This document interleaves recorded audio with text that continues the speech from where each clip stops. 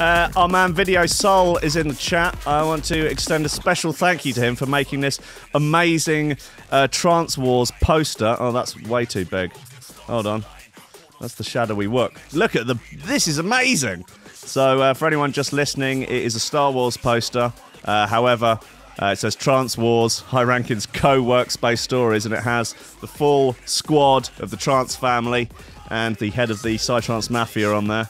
Uh, and me, it's uh, that is fantastic work, mate. Fantastic work. Uh, hopefully, that will upset and trigger the people who are not fans of the Trance Wars franchise, but I'm afraid they will have to suffer through a few more episodes.